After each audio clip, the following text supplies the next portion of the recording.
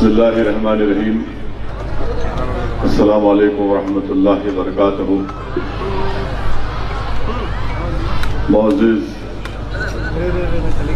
ہماری زدہ اور ماں اور بہنیں شہ نشین تشریف فرما، تمام عزت دار مہمانان خصوصی، مشترکہ مجلس عمل کے تمام ذمہ داران آج کے صدر جلسہ مولانا رحیم الدین انصاری صاحب، جناب جان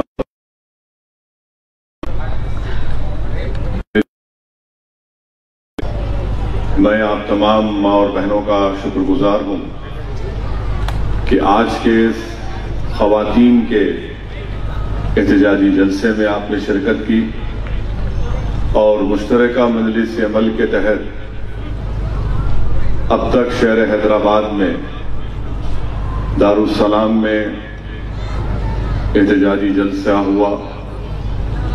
اس کے بعد اضلاع میں محبوب نگر میں C double A N P R N R C کے خلاف احتجاجی جلسہ ہوا۔ پھر نظام آباد کی سرزمین پر احتجاجی جلسہ ہوا۔ سنگاریڈی میں ہوا اور پھر ترنگا ریلی کا مشترکہ مجلس عمل کے تحت انعقاد عمل میں لایا گیا، جس میں الحمدللہ آپ تمام نے بلا لحاظ مذہب ملت اس میں شرکت کر کے اس کو کامیاب کیا۔ پھر مشترکہ پچیس جنوری کی رات کو ایک احتجاجی مشاعرے کا انعقاد کیا گیا۔ جشن یوم جمہوریہ کا عنوان بھی رکھا گیا۔ اور آج خواتین کا ایک جلسہ دارالعلوم میں مولانا رحم الدین انصاری صاحب کی زیر صدارت اس کو رکھا گیا ہے۔ پچیس جنوری کے جلسے میں ہم کو پولیس سے اجازت ملی۔ اچانک پولیس نے اس اجازت نامے کو منسوخ کیا اور ہم سے کہا کہ آپ خلوت میں کریے، ہم نے کہا ٹھیک ہے، خلوت میں کرتے ہیں۔ پھر کوئی حضرات کورٹ کو گئے۔ کورٹ میں مجلس اتحاد المسلمین کو بھی پارٹی بنایا گیا۔ مشترکہ مجلس عمل کو بھی پارٹی بنایا گیا۔ مگر حیرت انگیز طور پر ہم کو نوٹس نہیں ملی اور ہماری غیر موجودگی میں کورٹ نے فیصلہ دیا کہ چھ بجے سے سوا نو بجے تک ہم اس یوم جمہوریہ اور احتجاجی مشاعرے کو منعقد کرنے کی اجازت دیتے ہیں۔ پھر اسی دن اپیل کی گئی، الحمدللہ۔ اس میں بھی آپ تمام نے شرکت کی، میں آپ کا شکریہ ادا کرتا ہوں۔ اور ہماری کوشش یہی ہے کہ احتجاجی پروگرام ہو اور ہوگا انشاءاللہ مستقبل میں اور پورے طریقے سے ہوگا اور ہماری پوری کوشش یہ ہے کہ شہر کے امن کو برقرار رکھا جائے۔ ہم ہرگز نہیں چاہتے کہ شہر کا امن خراب ہو اور مختلف طاقتیں یہ کوشش کر رہی ہیں۔ تو اسی لیے میری آپ سے گزارش ہے کہ احتجاج کریے۔ یہ مشترکہ مجلس عمل کا پروگرام یہ ہے۔ اور مشترکہ مجلس عمل کے پروگرام میں آپ کو شرکت کی ہم دعوت بھی دیتے ہیں، گزارش بھی کرتے ہیں۔ کیونکہ میرا ماننا یہ ہے کہ یہ احتجاج جو ہو رہا ہے، یہ ایک لمبی لڑائی کے لیے آپ کو تیار رہنا ہے۔ یہ ایسا نہیں ہے کہ ایک دن، دو دن ہم کر کے گھر میں بیٹھ جائیں۔ گے تو اسی لیے یہ ہماری رائے ہے۔ اور میرا ماننا یہ ہے کہ یہ ایک لمبی لڑائی ہے اور یاد رکھیے کہ آپ جن طاقتوں سے مقابلہ کر رہے ہیں، وہ عام قسم کے سیاستدان نہیں ہیں۔ ان کی زندگی ان کی بچپنے سے لے کر اس عمر تک آر ایس ایس کے ذہنیت میں، ہندوتوا کی تہذیب میں وہ ڈوب کر نکلے ہیں۔ تو آپ کا ایسی طاقتوں سے مقابلہ کرنا ہے۔ اور یہ احتجاج ہوگا اور پرم طریقے سے مشترکہ مجلس عمل کے تمام ذمہ داران اس احتجاج کو جاری اور ساری رکھیں گے۔ دوسری اہم بات یہ ہے کہ میں خود سپریم کورٹ میں اس سی ڈبل اے اور این آر سی کے خلاف ہم نے سپریم کورٹ میں کیس ڈالا ہے۔ پہلی پیشی ہوئی سپریم کورٹ نے پانچ ہفتے کا وقت دیا ہے۔ دعا کریے کہ اللہ سبحانہ و تعالی ایک نہیں بلکہ کئی تنظیموں نے جمعیت علماء کے دونوں مولانا ارشد مدنی اور مولانا محمود مدنی، جماعت اسلامی اور ایسے مختلف تنظیمیں ہیں جنہوں نے C double A, N P R, N R سے خلاف سپریم کورٹ میں کیس ڈالا ہے اور سپریم کورٹ میں میرے وکیل محترم جناب نظام پاشا صاحب ہیں۔ تو یہ مشترکہ مجلس عمل کے تحت یہ اب تک کی کارروائی ہوئی ہے۔ اور انشاءاللہ تعالی ہم آگے جائیں گے۔ مشترکہ مجلس عمل کے پروگرام، چاہے وہ ترنگا ریلی ہو یا پھر یہ یوم جمہوریہ تھا، دونوں میں کورٹ کو گئے۔ تھے اور ہم اجازت لیتے ہیں تو کورٹ کو جاتے ہیں۔ تو خیر ٹھیک ہے، یہ آنکھ مچولی کا کھیل ہم برسوں سے دیکھ رہے ہیں۔ مگر ہم کو اس بات کو ذہن نشین کرنا ہے۔ یہ ایک لمبی جدوجہد، ایک لمبی لڑائی کے لیے آپ کو تیار رہنا ہے۔ اور ہم مشترکہ مجلس عمل کے پلیٹ فارم کے تحت اپنے اس احتجاجی پروگرام کو آگے لے کر جائیں گے۔ ایک اہم بات جو میں آپ تمام عزت دار ماں اور بہنوں سے کہنا چاہتا ہوں، اس احتجاج میں جو پچھلے پچاس دن سے زائد سے چل رہا ہے یقیناً قابل مبارکباد ہیں ان تمام ملک کے ذمہ داران جو اس احتجاج میں حصہ لے رہے ہیں، اس احتجاج کو آگے بڑھا رہے ہیں۔ ملک کی مختلف ریاست میں ریاستوں میں، شہروں میں یہ احتجاج ہو رہا ہے۔ ہم تمام ان احتجاج کرنے والوں کے ساتھ ہیں اور خاص طور سے جامع ملیہ کے طلباء اور طالبات اور علی گڑھ مسلم یونیورسٹی کے طلباء اور طالبات کے ساتھ ہم تمام ان کے ساتھ کھڑے ہیں۔ اس احتجاج میں، اس تاریخ احتجاج میں، جامع ملیہ کے علی گڑھ مسلم یونیورسٹی کے طلباء اور طالبات نے اپنا ایک تاریخی رول ادا کیا ہے۔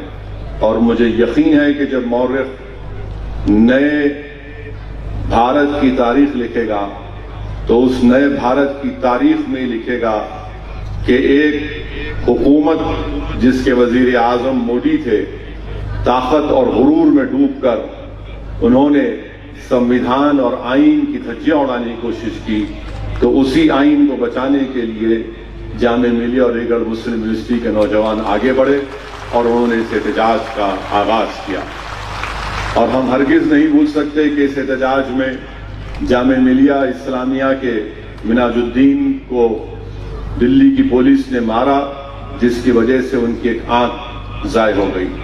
ہم ہرگز اس بات کو بھول نہیں سکتے کہ جامع ملیہ میں بچیوں کے ہاسٹل میں گھس کر ان سے بدتمیزی کی گئی، ان کو مارا اور پیٹا گیا۔ ہم ہرگز اس بات کو بھول نہیں سکتے کہ علی گڑھ مسلم یونیورسٹی میں گھس کر ایک بچے پر ٹیئر گیس گرا، جس سے اس کا ہاتھ، سے اس کو محروم ہونا پڑا۔ ہم ہرگز اس بات کو نہیں بھولیں گے کہ بیس دسمبر کو اتر پردیش میں جو احتجاج ہوا، اس کے چوبیس گھنٹے کے بعد جب اتر پردیش کے موجودہ وزیر اعلیٰ نے کہا کہ اس کا بدلہ لیا جائے گا، تو اتر پردیش کی پولیس نے چوبیس مسلمانوں کو گولی مار کر ان کو ہلاک کر دیا۔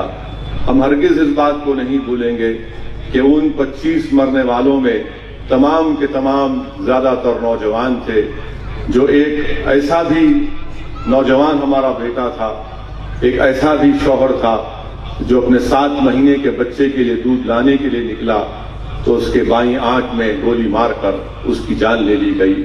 ہم ہرگز اس بات کو نہیں بھولیں گے کہ فیروز آباد کی سرزمین پر ہمارے بچوں کو گولیاں ماری گئی جن میں سے جب ان کو اسپتال لے کر گئے تھے، تو وہاں پر فیروز آباد کی پولیس نے اسپتال میں گھس کر ڈاکٹروں کو ڈرایا کہ ان کا علاج مت کرو۔ اور مجبوری کی حالت میں اس خاندان کے لوگوں نے زخمی حالت میں پچاس کلومیٹر دور آگرہ کو لے کر گئے۔ وہاں پر بھی دباؤ ڈالا گیا۔ ان کا علاج نہیں ہونے دیا۔ تو انہوں نے ڈیڑھ دو سو کلومیٹر دور دلی میں لا کر جب اس بچے کا علاج کرایا، کسی اسپتال میں تو چند گھنٹے کے بعد اس بچے کی موت ہوئی۔ ہم ہرگز اس بات کو نہیں بولنے والے ہیں، بلکہ مجھے یقین ہے کہ ان تمام ظلم کا جواب جمہوری طریقے سے بھارت کی عوام بی جے پی اور آر ایس ایس کو جواب دے گی اور ہم نہ بھولیں گے، نہ اس کو بھلائیں گے۔ اور جن ہمارے نوجوانوں نے اس احتجاج میں اپنی قربانیاں دی ہیں، مجھے یقین ہے کہ انشاءاللہ تعالی آپ اور ہم اس کو رائے گاہ جانے نہیں دیں گے، بلکہ ان کی قربانیاں، ان کے اثار ہمارے، ہم کو ایک حوصلہ بخشتا ہے اور اس بات کا ہم کو پیغام بھی دیتا ہے کہ یہ لڑائی ملک کو بچانے کی لڑائی ہے۔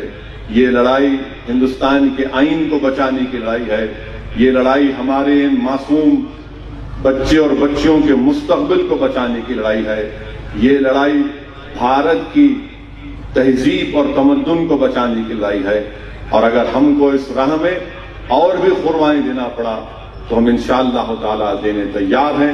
اور میں تو پہلے بھی کہہ چکا ہوں حکومت سے کہ اگر آپ یہ سمجھتے ہیں کہ اتر پردیش میں ہم پر گولیاں برسا کر ہمارے حوصلے پست ہو جائیں گے، ہرگز نہیں ہوں گے۔ یقیناً ہماری بیٹیاں بیوہ ہو چکی ہیں، ہماری ماؤں کی گود آپ نے اجاڑ دی ہے۔ مگر یاد رکھو انشاءاللہ تعالی، آج تم اقتدار کی کرسیوں پر بیٹھے ہو۔ کل تمہارا سیاسی دفتر ویران ہوگا اور اس میں اللہ اس پہ کھنڈر بنا کر دنیا کے سامنے مثال بنائے گا کہ جو معصوموں پر ظلم کرتے ہیں اللہ سبحانہ و تعالیٰ ان کو نہ صرف اقتدار سے محروم کرے گا، بلکہ صفحہ ہستی سے ان کا نام و نشان بھی۔ انشاءاللہ تعالی ہم جمہوری طریقے سے ان کو شکست دیں گے۔ یہ یہ اہم باتیں تھیں جو میں آپ تک پہنچانا چاہتا ہوں، اور ہم ہرگز اس بات کو بھی نہیں بھولیں گے۔ کہ کیسے ایک مرکزی وزیر نے ایک الیکشن کی میٹنگ میں کہا کہ دیش کے غداروں کو گولی مارو سالو اور ان کے بیان کے بعد چوبیس گھنٹے کے اندر یا چند چند اڑتالیس گھنٹے کے اندر جامع ملیہ میں وہاں کے نوجوان طلبہ اور طالبات جو گاندھی تیس جنوری کو گاندھی جی کو مارا گیا تھا، ستیاگرہ کے طور پر ایک ریلی نکال رہے تھے، تو ایک شخص جس کو ہم کو دہشت گرد کہنا، میڈیا کے لوگ نے کہا کہ وہ اس کے ہاتھ میں بندوق تھی، فلاں تھا۔ حقیقت میں یہ ہے کہ وہ ٹررسٹ ہے، جس کے ہاتھ میں بندوق تھی، اس نے بندوق اٹھائی اور جب اس کے ہاتھ میں شاداب نے، جو جموں کا ایک نوجوان لڑکا ہے، اس نے اس کے ہاتھ میں تفنچے کو دیکھا، ریوالور کو دیکھا، تو اس شاداب نے اس کو اس کے سامنے آگے بڑھنا شروع کیا۔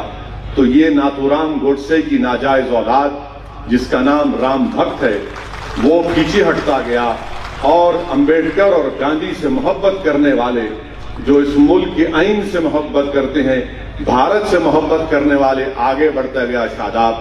شاداب یقیناً کسی ماں کا ایک بہادر بیٹا ہے۔ اللہ اس کو سلامت رکھے۔ مگر جب شاداب آگے بڑھ رہا تھا، تو شاداب صرف اپنی ماں کے بیٹے کا رول ادا نہیں کر رہا تھا، بلکہ شاداب اس بھارت کے ایک سو کروڑ جنتا جو اس سمویدھان پر بھروسہ رکھتی ہے، جو گاندھی امبیڈکر کو مانتی ہے، جو اس ملک کی آج C double A N P R N R C کو لڑائی کو اپنے مستقبل کی لڑائی مانتی ہے۔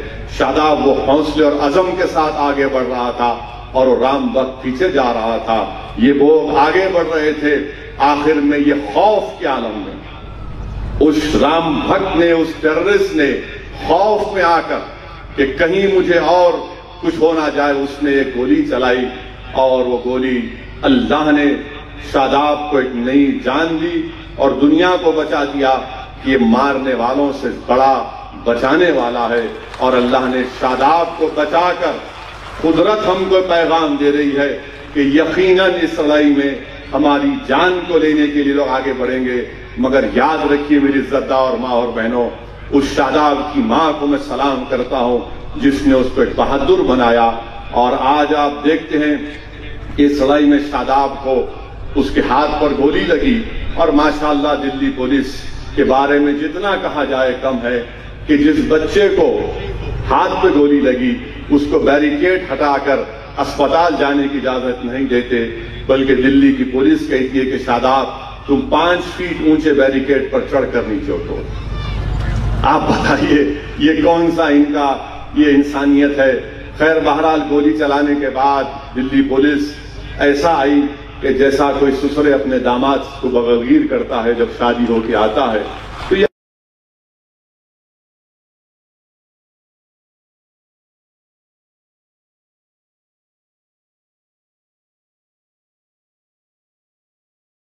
یقیناً دلی پولیس نے سسرے کا روزہ کیا اور اس آتنکوادی کو پکڑ کر لے کر گیا اور وہ کہہ رہا تھا کہ جس کسی کو بھارت میں رہنا ہے، فلاں نعرہ لگانا پڑے گا۔ اور اور جب گولی چلا رہا تھا، تو وہ رام بھٹ جس کا نام ہے ٹیررسٹ، وہ فیس بک پر لائیو ٹیلی کاسٹ کر رہا تھا۔ اس کو بھی گولی مار۔ میں ہمیشہ کہہ رہا ہوں کہ پیارے، گولی مارنا ہے، مارو۔